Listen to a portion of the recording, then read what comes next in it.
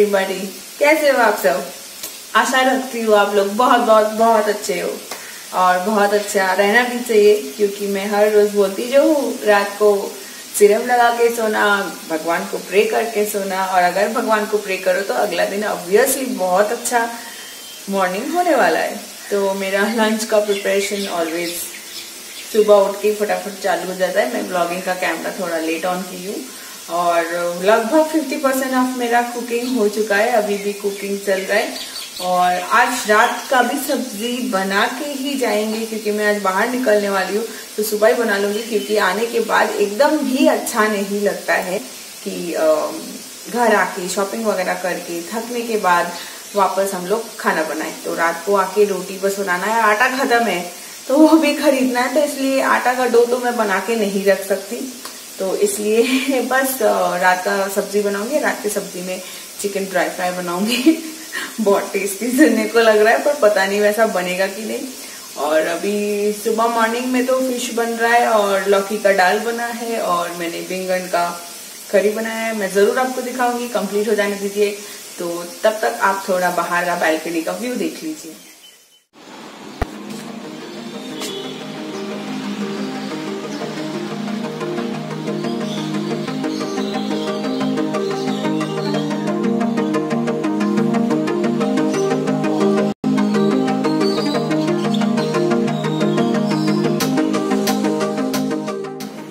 देख लिया बालकनी का नज़ारा। आज वेदर बहुत क्लियर है। और अभी तक नहाए नहीं है तो इसलिए फटाफट खाना बना के नहा के फिर आप लोगों से मिलते हैं। क्योंकि ज़्यादा टाइम बर्बाद नहीं करेंगे, आज बाहर भी निकलेंगे ना तो बाहर भी तो आपको घुमाना है। तो चलिए, मैं फटाफट सारा काम कर लेती हूँ। तो यहाँ पे वेजिटेबल्स थोड़ा सा चॉप करके रखा हुआ है चिकन ड्राई फ्राई बनाने के लिए। और फ़िश को मैंने फ्राई कर लिया है। खाते टाइम वापस गरम करेंगे यहाँ पे। आलू भाजी थोड़ा सा बना के रखे, कुछ और बनाने के लिए। लौकी का दाल और इधर बैंगन करी प्याज डाल के। तो यही सब चल रहा है। इन प्रोसेस कंटिन्यू तो मैं नहा धो के रेडी और आज कुछ ज़्यादा ही रेडी हो गई हूँ। एक्चुअली जब सारा काम जल्दी जल्दी हो जाता है ना, फिर थोड़ा सा सजो तो भी नहीं लगता है कि टाइम वेस्ट हुआ, क्योंकि हाथ में बहुत टाइम है। और यूजुअली क्या होता है, सब काम करते करते इतना लेट हो जाता है कि लास्ट में थोड़ा बहुत डेकटअप पॉसिबल नहीं रहता है। फिर लगता है छोड़ो, घर में ही तो रहना है। पर वैसे भी आज मुझे घर में नहीं रहना है, मुझे निकलना है और बहुत दिनों से आप लोग देख रहे थे कि मेरा नेल्स में आधा अधूरा नेल पॉलिश था। टाइम भी नहीं मिला था तो मैंने आज रिमूव कर लिया। तो थोड़ा सा नेल पेंट लगा लेते हैं, क्योंकि टाइम है और ऐसे हाथ अच्छा नहीं लगता है। तो चलिए थोड़ा सा नेल पेंट लगा लेते हैं।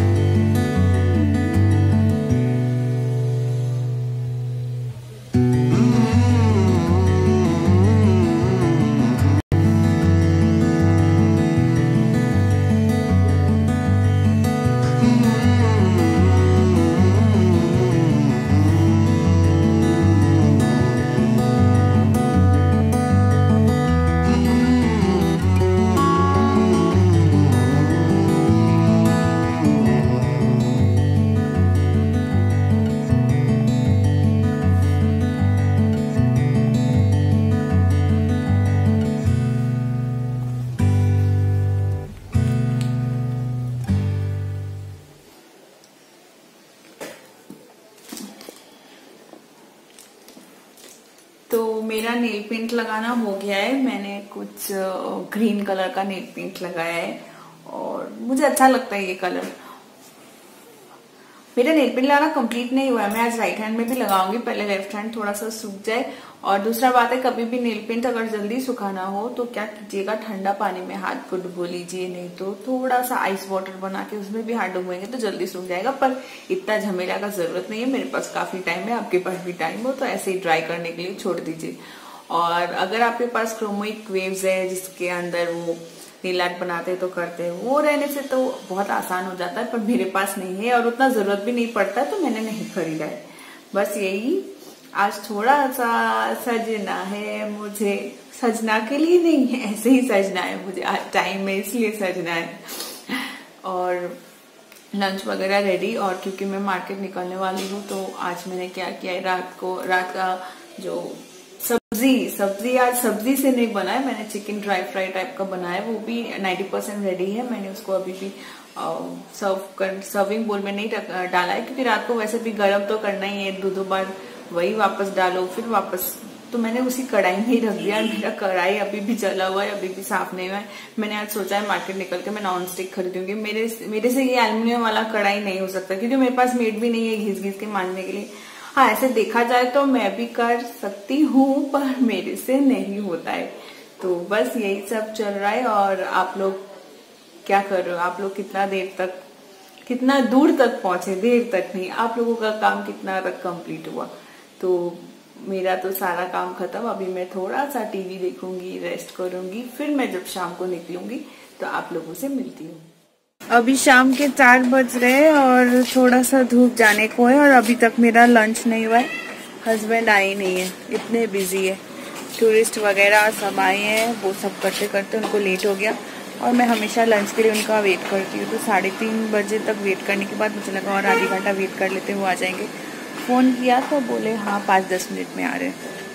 तो लंच नहीं हुआ और जिस दिन निकलना होता है ना, उसी दिन मैंने ना देखा है, कुछ है मेरे नसीब में मतलब luck is not favour luck is not in favour of me वो क्या होता है कि जब भी मैं बाहर निकलने का सोचती हूँ, उसी दिन हस्बैंड का इतना सारा काम रहता है, वो लेट से आते हैं और निकलते निकलते रात हो जाता है। और रात होने से मुझे प्रॉब्लम नहीं है। आप लोगों को दिखाने में बहुत दिक्कत होता है। अंधेरे में उतना अच्छा लाइट वगैरह नहीं रहता है स्ट्रीट्स वगैरह मैं नहीं दिखा पाती हूँ। तो मैंने सोचा था, आज थोड़ा सा जल्दी निकलेंगे। पर देखिए एज यूजल चार बज रहा है, वो आएँगे। खाना पीना करके लंच करके थोड़ा सा रेस्ट लेते लेते निकलते निकलते फिर छः बज जाएगा, फिर छः बज जाएगा तो रात बाहर अंधेरा एज यूजल पर क्या करें? तो ऐसे ही बालकनी में आए थोड़ा सा, उनके लिए वेट करते करते मैंने सोचा थोड़ा सा आप लोगों से बात कर लिया जाए। तो ठीक है, चलिए अंदर चलते हैं। कब तक बालकनी में भी रुके? चलिए, अंदर चलते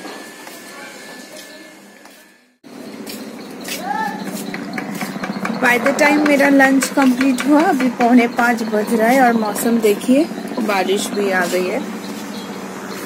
पता नहीं जा पाएँगे कि नहीं। अगर गए तो आप भी चलिएगा। अगर हम घर में रहेंगे तो आपको भी घर का ही नज़ारा देखना पड़ेगा। ट्राई करते हैं। थोड़ा सा अगर बारिश रुक जाए तो बाहर निकलने का प्लानिंग तो है। अब देखते हैं आगे क्या होता है। जीन्स उठाने आए थे, बारिश हो रहा है। चलिए अंदर।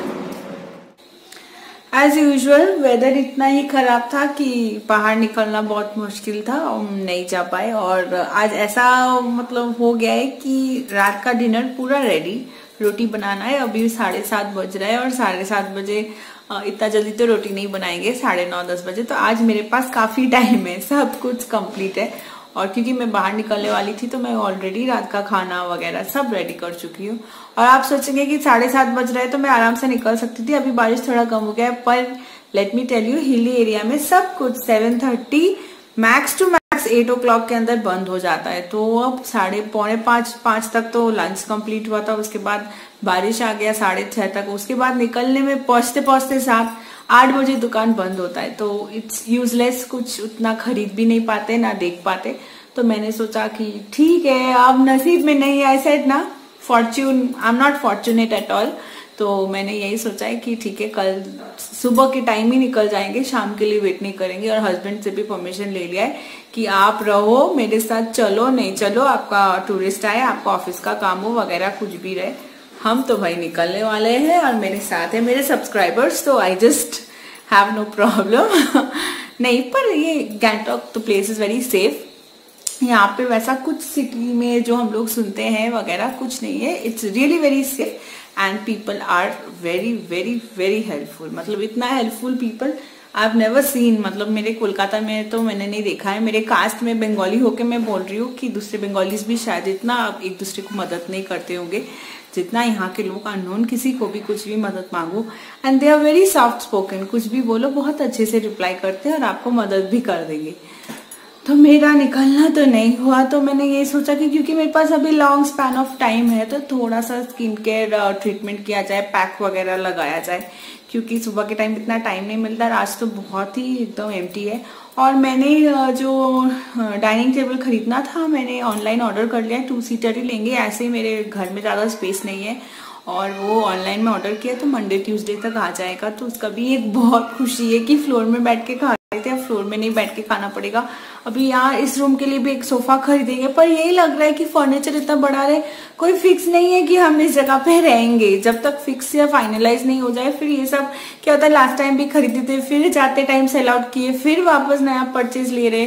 तो पैसा बहुत, अगर कैलकुलेटिव वे में खर्चा नहीं करते तो इधर उधर से बहुत खर्चा हो जाता है मेरा। ऐसे ही Gangtok is a very expensive place अब में से बहुत जन अगर आए हुए होंगे तो यू नो कि यहाँ पे वेजिटेबल्स ग्रॉसरी वगैरह, जो भी मतलब आपके वहाँ जो प्राइस है, इससे कई गुना ज़्यादा यहाँ पे प्राइस है और कपड़ा फर्नीचर एंड अदर थिंग्स का तो आप छोड़ दो। वो काफ़ी मतलब जो हम लोग ऑनलाइन प्राइस देखते हैं, यहाँ पे वैसा आसपास में भी रेट नहीं होता है और आपको यही से लेना है, क्योंकि इतना दूर ऑनलाइन वाला भी डिलीवर नहीं करता है। तो पॉसिबल ही नहीं होता है कि वैसे करके कुछ भी मंगाए, मंगवाए करे। तो इसलिए वही सोचते थे कि आ, ये वाला टेबल ले कि नहीं ले। और और एक बात है कि प्लांट्स के लिए भी हम मार्केट गए थे। जिस दिन लास्ट डे मैं बोलना भूल गई थी मैं वहाँ पे शूट ने शूट भी नहीं की थी। मैं प्लांट्स का पूछी आई हैड नो आइडिया मैंने पूछा कि मुझे ये प्लांट खरीदना है कितना है? तो वो बोला साढ़े तीन सौ. And trust me I couldn't believe कि एक टब छोटा सा उसमें एक पौधा लगा हुआ साढ़े तीन सौ। हम लोग के वहाँ हार्डली तीस चालीस ही लगता है कोलकाता में और मेरा तो पियर हावड़ा में है तो वहाँ पे तो बस तीस चालीस रुपए में अच्छे अच्छे अच्छे खासे प्लांट्स मिल जाएँगे। तो मैंने साढ़े तीन सौ सोच के नहीं लिया। फिर मैंने मेरे हस्बैंड को बोला कि सीड्स वगैरह कहीं तो मिलता होगा, वो मिट्टी में डालने से भी हो जाएगा। तो मेरे नेबर में जो घर में दिखाती हूँ, हमेशा ब्लॉग में उनके घर में बहुत सुंदर प्लांट्स है। तो मैंने ऐसे ही पूछा कि आप मुझे एक तो देंगे, हम मिट्टी लाएँगे। तो उन्होंने बोला हाँ हम दे देंगे। तो अच्छा ही हुआ, हम मिट्टी और टब लाएँगे तो वो फ्लाट देगी तो मैं लगा लूँगी। और वो रोज है तो स्टेम काट के भी मेरा वैसे भी बन जाएगा। ऐसा भी नहीं है कि, और उनके पास काफ़ी सारा है तो वो उसमें से एक दे देगी मेरे को तो कुछ नहीं होगा। और ये सब खर्चा मेरे हिसाब से फालतू खर्चा है, साढ़े तीन सौ से एक जस्ट रोज प्लांट खरीदना it's I think too much और ये भी हो सकता है वो लोग ना मेरे को टूरिस्ट सोचे because I don't look like Nepalis neither my nose is like this now my eyes is like this. तो टूरिस्ट सोच के भी हो सकता है पर हाँ, कोई टूरिस्ट यहाँ से प्लान खरीद के क्यों अपने घर में लेके जाएगा? जो भी हो तो बहुत महँगा था तो इसलिए मैंने नहीं खरीदा। और compare to Darjeeling and Gangtok Darjeeling is cheaper than Gangtok भले ही आसपास में हो द रीजन इज़ कि दार्जिलिंग वेस्ट बंगाल के अंडर में आता है तो इसका प्राइसिंग वगैरह काफ़ी गैंगटॉक से अलग है।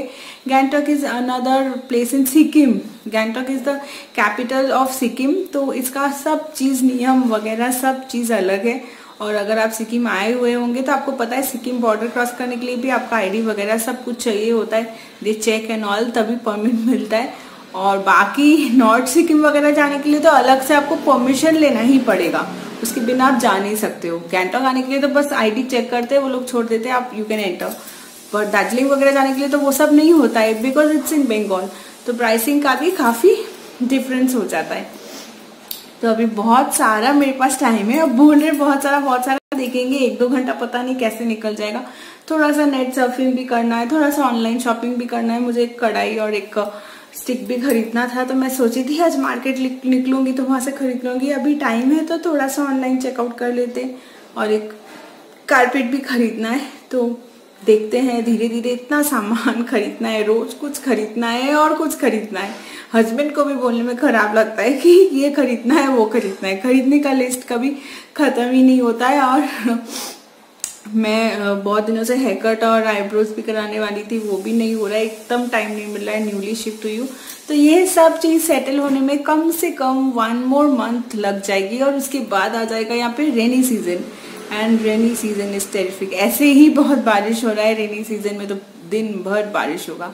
तो वॉट तो अभी थोड़ा सा स्किन केयर ट्रीटमेंट करते हैं। आप लोगों को नहीं दिखाएँगे। आज का ब्लॉग में यहीं पे खत्म करी क्योंकि इसके आगे कुछ दिखाने लायक है नहीं। मैं रात का खाना भी बना चुकी हूँ। और स्किन ट्रीटमेंट वगैरह आज मैं आपको नहीं दिखाती हूँ। इट्स सेम कुछ प्रोडक्ट निकाल के मैं लगाऊँगी, बस उतना ही है। तो take care of yourself आप लोग भी आपका स्किन का ट्रीटमेंट कीजिए। अगर आपके पास टाइम हो तो pray to God for giving you such a wonderful day और अगर if it is not a wonderful day for you also pray कि next day God makes it wonderful और अपना ध्यान रखिए, अपने आप को खुश रखिए।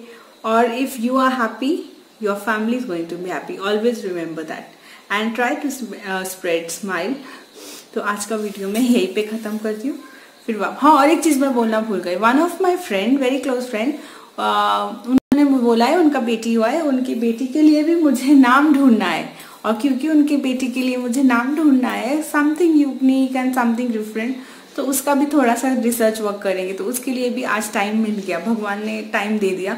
और मैंने आज बोला भी है उनको कि आज मिड तक मैं ज़रूर से आपको नाम दे दूँगी। पता नहीं उनको वो नाम चॉइस होगा कि नहीं होगा। I am not sure about it अब वेदर हम जो सिलेक्टेड नाम रखेंगे, उसमें से वो उनको ज़रूरी नहीं है कि हम जो नाम दे वही रखें।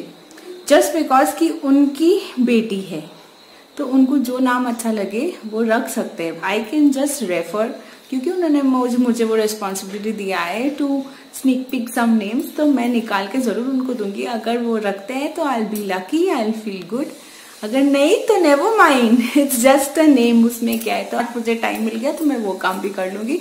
तो चलिए bye bye meet you in my next vlog